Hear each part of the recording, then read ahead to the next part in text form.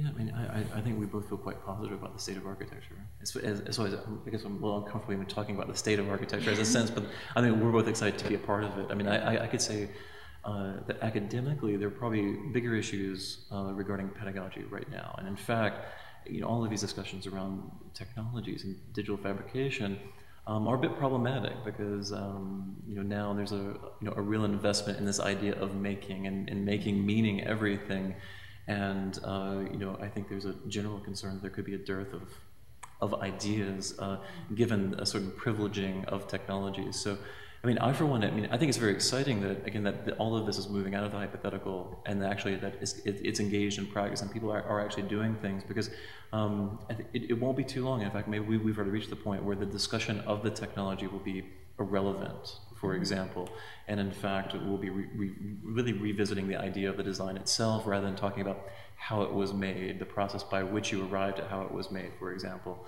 And uh, you know, I think at that point, even in academia, things will things will change, you know, quite significantly. I think that's a very important point. I think we have reached, or will soon reach, the point at which it's not just a novelty anymore, and it's not enough just that you can do it, but you have to have some kind of meaning behind what you're doing, and I think that's really, really crucial.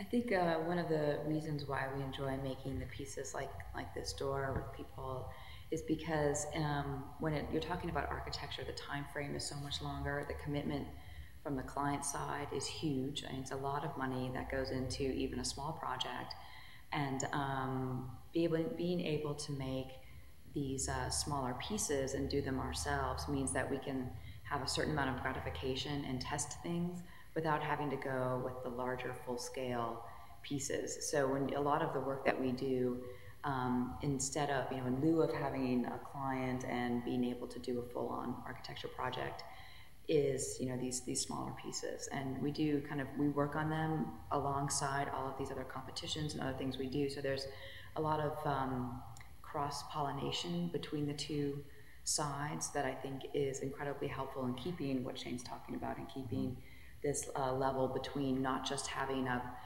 uh, a practice that's more of a commercial practice, but having something that is much more based in research. Mm-hmm. So that's our that's our intention over time is to really be able to do the small scale and the larger scale, both in real projects and in competition form, just to be able to keep ourselves um, balanced in that way. I think that the door is really kind of a, representation of the work that's kind of being produced at a research lab that I have at the University of Toronto, and uh, in particular, it's uh, the way that it's fabricated. It kind of embraces um, the vestigial marks of machining as well as uh, the kind of patterning that's afforded through kind of rather unique lamination tech technique. So in this case, there's an oblique lamination that, that results in a very interesting field reading. On one side of the door, actually on both sides of the door, with one side of the door being uh, the outside and having a very sharp seam that essentially is less welcoming for someone who's kind of engaging the uh, the door. I would say that probably the door uh, represents a certain belief that there's an appropriate area for these te- technologies, and sometimes.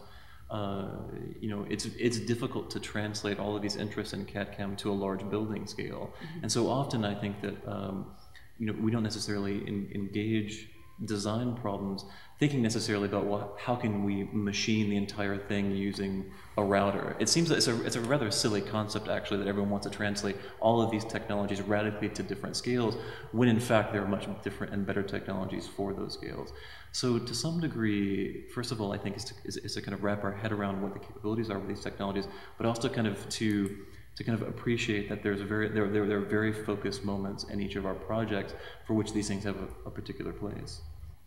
Inevitably architects like to think about making spaces and so if the machine that you're using has a bed that's like 18 inches by 24 inches by 10 inches high you, are going to try to pack in as many ideas into that space as you possibly can. I think it's stepping back from there and realizing what the limits of the machinery are and the limits of you know the design for that scale are that are that is the appropriate thing to find this this award is really fantastic. Yet it's only in architecture that you get an award, and it means that you have to work harder and actually produce something for the award itself. And so, as exciting as it was, all of a sudden it, it, produced a rather intense moment where we had to kind of produce the piece for the exhibition, prepare our lecture.